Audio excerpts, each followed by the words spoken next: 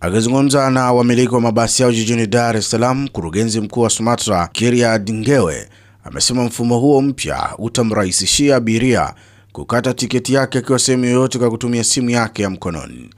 Kwa abiria sasa, wasafiri hawatapata tabu, kwa sababu watakata tiketi wakiwa huko makwao, watakata tiketi zao kupitia simu za mkononi.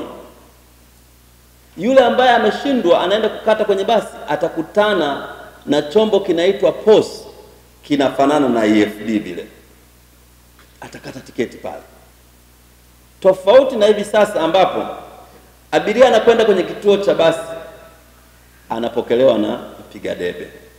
Aidha, SUMATRA imekemea vitendo vya wamiliki wa mabasi kupandisha bei ya nauli bila sababu ya msingi. Mwenye basi amepewa kila kiti shilingi elfu thelathini na tatu. Lakini mkata tiketi amekatisha kwa shilingi elfu arobaini na tano. Basi zima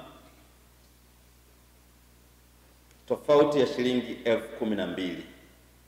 Basi lile mimi silitaji hapa. Huyu aliyechukua shilingi elfu kumi na mbili kila kila kiti hana gharama yoyote ile nyingine.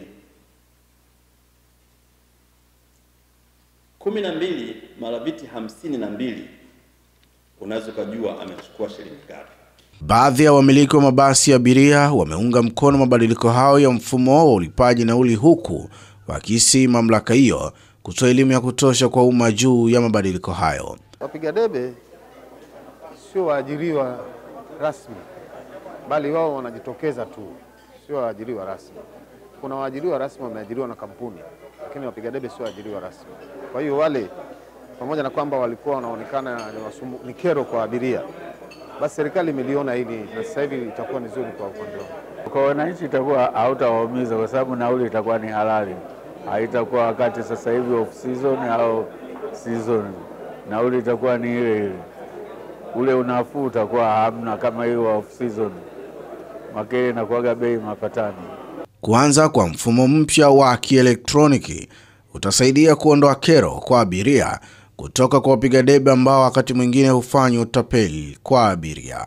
John Deki, Star TV, Dar es Salaam.